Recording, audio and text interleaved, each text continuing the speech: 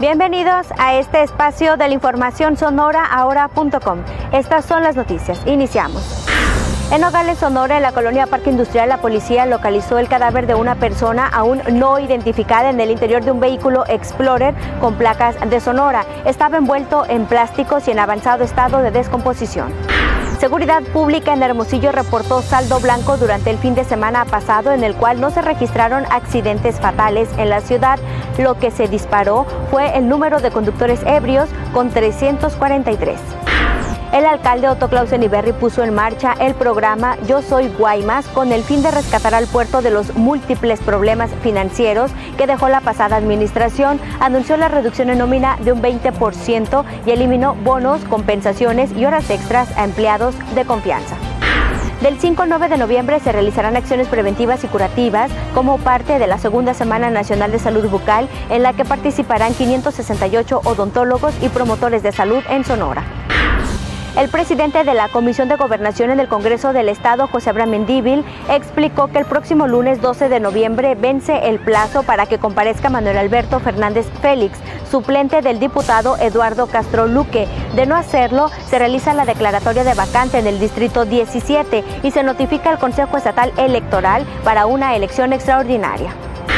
El gobernador de Sonora, Guillermo Padre, se reunirá este martes en la Ciudad de México con los 114 diputados federales emanados del PAN para diseñar planes de obra y procurar recursos federales, informó Enrique Reina, coordinador de los diputados en el Congreso de la Unión está confirmado. Después de 16 años, la Serie del Caribe vuelve a Sonora y se realizará del 1 al 7 de febrero en Hermosillo. El gobernador Guillermo Padres firmó el convenio que oficializa la fiesta beisbolera. Francisco Álvarez, ejecutivo de la Serie del Caribe, dijo que habrá un nuevo formato donde hasta el último día se conocerá al ganador.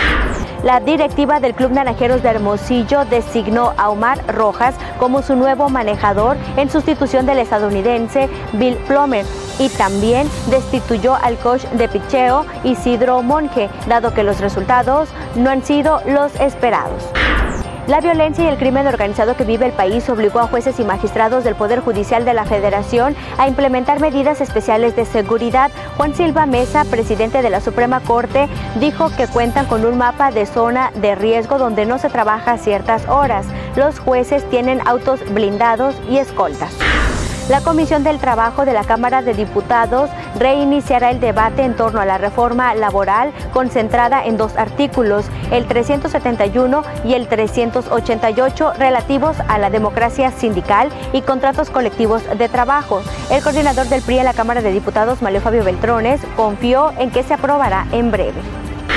El presidente Felipe Calderón anunció apoyos para los consumidores durante el buen fin, entre ellos una tarjeta de crédito llamada Fonacot Mastercard préstamos en efectivo y adelantará el aguinaldo a trabajadores de la Administración Pública Federal. La campaña para las elecciones en Estados Unidos llegó a su fin. Este 6 de noviembre se despeja la incógnita de quién permanecerá los próximos cuatro años en la Casa Blanca. El demócrata Barack Obama lucha por mantener los apoyos que en 2008 lo convirtieron en el primer presidente afroamericano en la historia del país. Su rival, el republicano Mitt Romney, anima a los estadounidenses para castigar las promesas incumplidas. La última jornada de votación para Obama tuvo lugar en Wisconsin, Columbus y Ohio, donde pronunció el último discurso. Romney visitó Orlando, Columbus y Manchester. El cantante y cineasta argentino Leonardo Fabio falleció a los 74 años de edad al agravarse su salud. Como cantante fue uno de los precursores de la balada romántica latinoamericana en la década de los 60 y 70.